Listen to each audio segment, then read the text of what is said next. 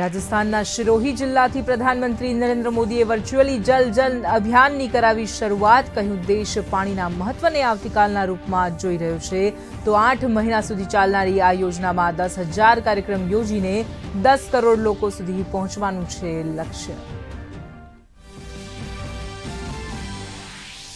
પ્રધાનમંત્રીએ આદિ મહોત્સવનો કરાવ્યો શુભારંભ. સત્યાવીસ ફેબ્રુઆરી સુધી નવી દિલ્હીમાં ચાલનારા આ મહોત્સવમાં દેશભરની જનજાતીય પરંપરા અને સંસ્કૃતિનો સમન્વય.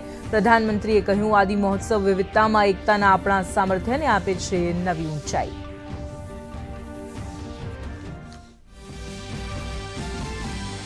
ત્રિપુરા વિધાનસભા ચૂંટણી માટે મતદાન પૂર્ણ સાંજે પાંચ વાગ્યા સુધી નોંધાયું.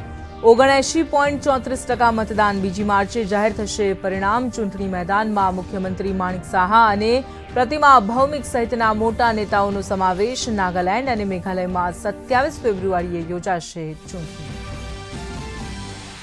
રાજ્યપાલ આચાર્ય દેવવ્રતની ઉપસ્થિતિમાં ધારાસભ્યો માટેની સંસદીય કાર્યશાળા થઈ સંપન્ન. વિધાનસભાની કામગીરી, જનપ્રતિનિધિઓના કામોને લઈને ધારાસભ્યોને અપાયા સૂચનો. મુખ્યમંત્રીના મુખ્ય સલાહકાર હસમુખ અઢિયા, જીપીએસસીના પૂર્વ ચેરમેન દિનેશ દાસાએ આપ્યું માર્ગદર્શન. રાજ્યવ્યાપી સુજલામ સુફલામ જળ અભિયાનના છઠ્ઠા ચરણનો ગાંધીનગરના ખોરજથી મુખ્યમંત્રી ભૂપેન્દ્ર પટેલ આવતીકાલે કરાવશે પ્રારંભ. એકસો ચાર દિવસ સુધી ચાલશે જળ સંચય, જળ સંગ્રહ ક્ષમતા વૃદ્ધિનું અભિયાન. વરસાદી પાણીના સંગ્રહથી રાજ્યના ખેડૂતોને સિંચાઈમાં પ્રત્યક્ષ અને પરોક્ષ રીતે મળશે લાભ.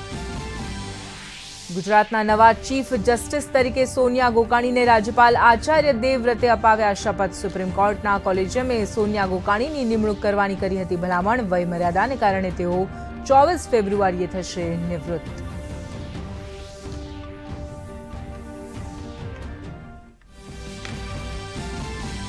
પ્રધાનમંત્રી માતૃવંદના યોજના અમલીકરણમાં સાબરકાંઠા જિલ્લાની કામગીરી રાજ્યમાં શ્રેષ્ઠતમ. સો ટકાનો લક્ષ્યાંક પૂર્ણ કરતો રાજ્યનો પ્રથમ જિલ્લો, જિલ્લાની અઢાર હજાર સાતસો સોળ સગર્ભા મહિલાઓને મળ્યો લાભ.